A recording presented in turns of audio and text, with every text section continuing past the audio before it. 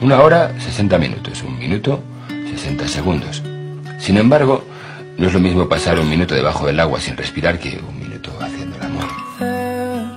Si te dijeran que tienes que pasarte un mes entero escuchando reggaetón, seguramente te parecería mucho tiempo, con, con todo el respeto para el género que a mí me apasiona.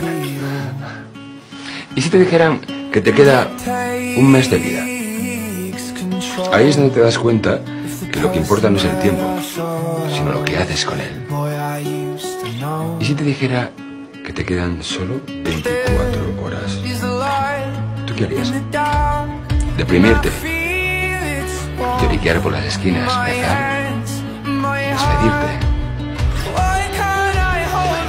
La respuesta adecuada es vivir, divertirte,